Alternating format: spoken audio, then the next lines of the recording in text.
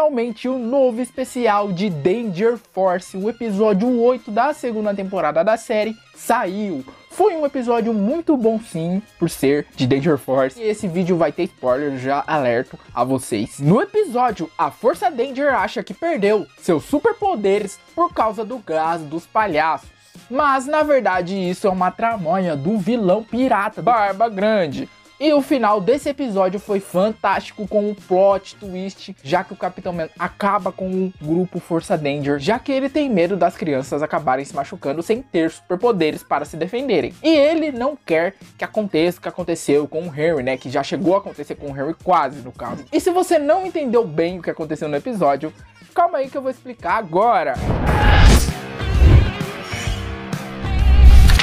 Olá, tudo bem? Eu sou o Pedro Luiz e finalmente eu tô de volta no canal. Uhul! E esse episódio de Danger Force começa de um jeito muito estranho, pois os heróis estão em um restaurante de frutos do mar chamado Barba Grande. E esse restaurante, logicamente, é comandado pelo Senhor Barba Grande, o pirata. O estranho é que é um restaurante famoso, sabe? Só que a gente nunca ouviu falar desse restaurante na série, nunca ouvimos falar. E os heróis do nada começam a receber comida de graça nesse restaurante. Tá legal, talvez o Barba Grande esteja dando uma comida de graça para eles, para recompensá-los de alguma forma por tudo que eles fazem por Swellville, certo? Errado. Vocês que já estão antenados aqui no canal sabem bem o que são esses piratas, o que esse pirata, principalmente o Barba Grande, quer. Bom, eu não vou explicar essa parte por agora, para quem não entendeu. Eu vou deixar para falar pro final do vídeo, porque tem outras coisas para acontecer antes disso. Temos a filha do Barba Grande sendo apresentada, se eu não me engano o nome dela é Liri, Lilith, e aí ela gosta de ficar jogando comida pros heróis, ela é empolgada, desesperada. Os heróis comam a comida, ela meio que obriga eles a comer. E ela ainda não desgruda do Brainstorm, do Bowser. Ela já deixou claro também que ela é obcecada por ele. Saindo dessa parte estranha no restaurante do Barba Grande, os heróis vão ao Hip Hop Purry em uma emergência, pois tem um palhaço tentando assaltar o local. Então, apenas a Força Danger vai impedir esse palhaço. Enquanto o Capitão Man vai em uma outra missão salvar uns modelos que acabaram ficando presos em um local. No caso, em um tipo de freezer, se eu não me engano. E quando a Força Danger confronta o palhaço, o palhaço ativa um gás na Volt. E a Volt acaba não conseguindo usar o seu superpoder corretamente e a sua voz também é mudada. A voz dela fica bem fina como a voz do Mini Ray. Até o Mini Ray apareceu nesse momento aí e ele se sentiu ofendido quando falaram que a voz dela estava parecendo com a dele. E até a Chapa não gostou dessa mudança de voz né? Claro que ela ia gostar, a voz ficou muito fina. Assim como o Miles também foi atingido pelo gás mas a voz dele fica grossa, diferente. E aí ele já gostou, ele gostou de ficar com a voz grossa. Só que o poder dele foi por brejo também. E a Mika, o Bowser perceberam que o gás era algo tóxico para seus poderes, para sua fala. Então, eles tentaram não ser atingidos. Só que eles acabaram sendo atingidos. E a Mika começa a falar em espanhol. E é muito engraçado isso. E ela achou até que isso foi espetacular. Eu acho que é porque ela sempre quis falar em espanhol naturalmente. E o Bowser apenas começa a dançar sem parar. O gás não afetou a fala dele. Enquanto a Mika tenta usar o seu superpoder, só que o grito dela dá falha na Matrix, a rajada sônica volta para ela quando ela joga o grito. E o Bowser tenta fazer algo dançando, mas não dá certo, não dá em nada. Os poderes da Força Danger, nesse momento, já estão todos fracassados. E eles acreditam que é por causa do gás do palhaço. Então eles vão até o ninho do Man avisar o Schwoz para o Schwoz tentar ajudá-los. Até porque se tem alguém ali que pode tentar fazer algo, é o Schwoz. Então eles explicam tudo o que aconteceu para o Schwoz com o gás e o Schwoz fica muito preocupado com isso. Porque ele lembra de uma conversa que ele teve com o Ray, que ironicamente, eles falaram sobre o que aconteceria se as crianças do grupo não tivessem mais superpoderes. E o Ray disse que é claro que não deixaria mais elas combaterem o crime, por mais que elas ainda queiram, e ele fecharia a escola swag e tudo mais. Realmente, ó, e além disso, faria uma viagem com o Schwartz para Reno.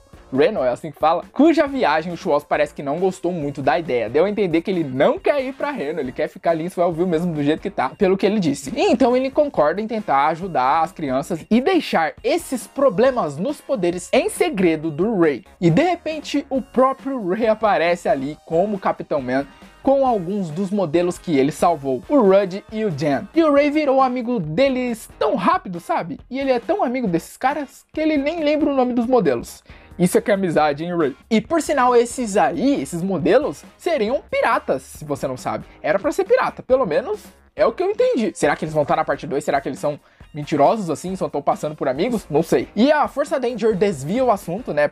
Claro. Só que o Ray quer que eles mostrem seus poderes para os modelos. Ele trouxe os modelos ali justamente para isso. E ele pede para o Miles ir até o Japão trazer sushi, eu ia falar sushi, usando seu teletransporte e a Chapa usa a cabeça e distrai o Capitão Man e os modelos. E o Miles finge se teletransportar, então a Mika dá uma caixa de chiclete para ele e ele diz que já foi ao Japão, só que não tinha sushi por nenhum lugar de lá, só tinha esse chiclete mesmo. Isso já dá pra ver que é uma mentira, né? Porque eu acho que o Japão faltar sushi é falir, né? Então o Ray pede para o Brainstorm agora usar o seu superpoder para levitar algo. E a Mika ajuda ele, né? Aproveita que um pássaro está passando por ali em direção ao ninho do Man. Só que também não deu muito certo, já que o pássaro acaba batendo no campo de força que fica em volta do ninho. E a Mika ficou bem assustada, né? Preocupada também, porque ela acabou de matar um pássaro sem querer. Na verdade, não foi culpa dela. Só que eles são salvos graças à emergência que surge na fábrica de fósforos. E Ray quer aproveitar esse momento para os modelos verem a Força Danger em ação. Só que as crianças conseguem escapar dessa, convencendo o Ray a ir com os modelos nessa missão. E eles se aproveitaram, claro, do grande ego que o Ray tem,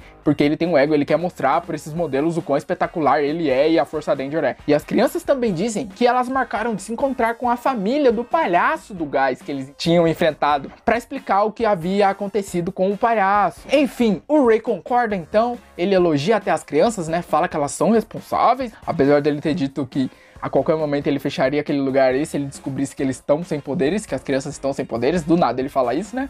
Até pareceu que ele já estava sacando tudo, mas eu acho que ele não estava sacando não. Após isso, o Ray vai com os modelos até a fábrica de fósforos de Swellville e a Força Danger vai até o restaurante Barba Grande de novo e eles ficam comendo por lá e se lamentando pelo que aconteceu com seus poderes. E a filha do Barba Grande aparece de novo, é uma injeção de linguiça aí. E o que deixa as crianças mais chateadas com isso tudo é ver que o Ray está se dando muito bem na missão com os modelos pois eles se sentem um pouco inúteis por não ter conseguido ir naquela missão, porque eles não têm mais poderes. Só que o Schwoz acaba ajudando, né? O Schwoz tenta achar uma solução para isso e realmente ele consegue, entre aspas. Ele pega alguns equipamentos práticos para a Força Danger combater o crime. A Chapa ficou com uma espécie de mochila elétrica, a Mika com uma espécie de ventilador, o Bones com uma vara de pescar e o Miles teve que se contentar com um pedaço de madeira, com cepo de madeira. E o grupo vai enfrentar novamente o palhaço de gás. Até porque eles acreditam que foi o palhaço que tirou os poderes deles. E eles acham que tem apenas um palhaço causando por aí. Porém, tem vários palhaços. É uma verdadeira gangue. E aí começa uma luta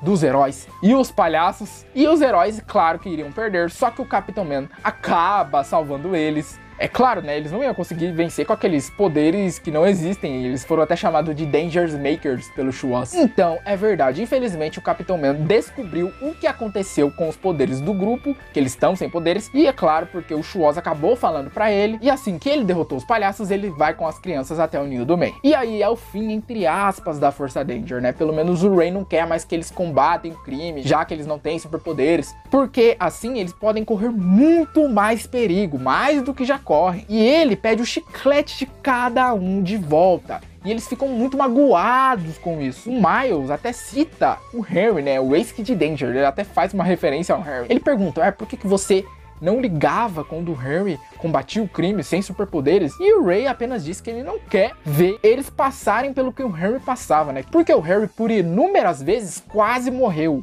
E o Ray, apesar de tudo, ele teve um ato de responsabilidade ali, ele quis proteger as crianças, por mais que a gente não queria que eles se separassem assim, né? Que o grupo acabasse. Só que o episódio teve até diálogos que demonstrou que o Ray considera, chega a considerar essas crianças como seus filhos que ele nunca teve. E o Shuoz até trollou e tentou achar uma outra solução para os problemas dos poderes, né? Só que não deu em nada. Sabe por quê? Porque não foi o gás que afetou os poderes. Ainda bem que eles descobriram no final que não foi o gás. Que o gás foi só uma coincidência. E aí tem o plot twist. Só que eles não sabem que tá afetando os poderes. No caso, é a comida do Barba Grande. O Barba Grande, o pirata ali, é o verdadeiro vilão por trás de tudo. E o pior é que os heróis nem suspeitam.